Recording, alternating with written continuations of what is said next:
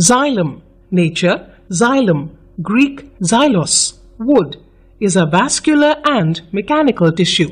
In other words, it is a conducting tissue.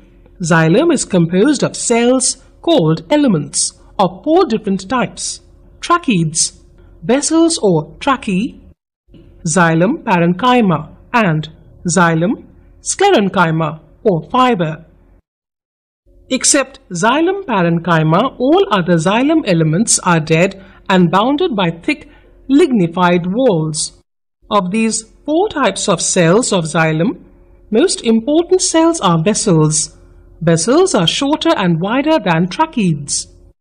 Vessels are very long, tube-like structures formed by a row of cells placed end to end. The transverse walls between the vessel elements are partially or completely dissolved to form continuous channels or water pipes. Tracheids are elongated cells with tapering ends. They also conduct water. Since tracheids do not have open ends like the vessels, so that water has to pass from cell to cell via the pits. Xylem parenchyma stores food and helps in lateral conduction of water. Functions The main function of xylem is to carry water and mineral salts upward from the root to different parts of shoots. Since walls of tracheids, vessels and sclerenchyma of xylem are lignified, they give mechanical strength to the plant body. Phloem Nature like xylem, phloem, Greek phloos, bark, contains tubes but performs no mechanical function. Phloem is composed of following four elements or cells. Sieve tubes, companion cells, phloem parenchyma and phloem fibers. Except for phloem fibers, phloem cells are living cells. Sieve tubes. Sieve tubes are slender tube-like structures composed of elongated, thin-walled cells placed end to end.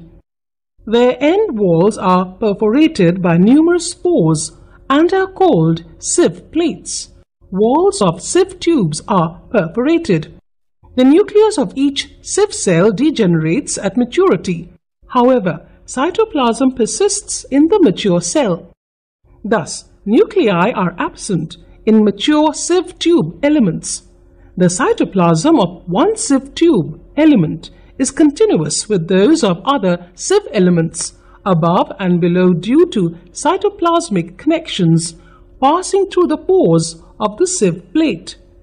Companion cells generally associated with the sieve tube.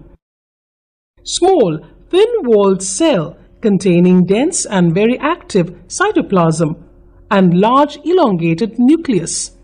It is called a companion cell and it is connected to the sieve tube with numerous plasmodesmata. Phloem parenchyma. These are thin-walled, living cells of parenchyma or phloem. They have two functions, storage and slow lateral conduction of food. Phloem fibers or bast fibers these are thick-walled, elongated, spindle-shaped dead cells, which possess narrow lumen. They provide mechanical strength to the tissue. Bast fibers obtained from some plants, such as jute, hemp, flax, has commercial or economic value. Functions Phloem transports, conducts, photosynthetically prepared food materials from the leaves to the storage organs and later from storage organs to the growing regions of the plant body.